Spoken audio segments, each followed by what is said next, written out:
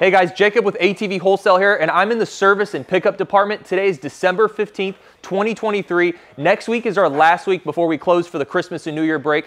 Now, as you can see, we're super busy. We got e-bikes getting picked up and purchased. We've got power sports getting picked up and purchased. This one just sold a, a moment ago. Uh, guys, if you're looking for an ATV, a dirt bike, or an electric bike, get in here now. We're starting to move th through things really quickly. Come on back this way. Customers just picked up a new vehicle here. We're getting them briefed up, um, going over maintenance procedures, start and stop, making sure you guys are equipped to actually run and use this vehicle once you take it home. Reveal it to the kids and you guys are running around. Make sure you guys actually know how to service these things.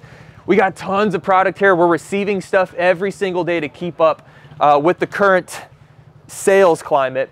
Here's our builder's bay as we're just also trying to keep up with the ATV demand.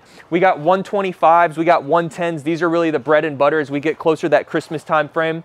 Great gift for the kids. As a lot of parents, you know, this is a great way to get outdoors, great way to enjoy this, the, the outdoors as well. Um, 110s, 125s, and as we move over here, We've got a lot of our e-bikes. A lot of these are already pre-sold as well. They're just waiting for pickups. We got stickers on seats. We got hold tags um, yeah, this Christmas season is really popping right now. So as we continue to move forward this way, we've got the rest of our vehicles that are available for sale. CF Moto, these are a little less popular during Christmas, but we're still moving through these as well. But as we continue to move forward, we've got all of our uh, more mid-sized adult and kids ATVs as we continue further down. Commander 200s, these are great.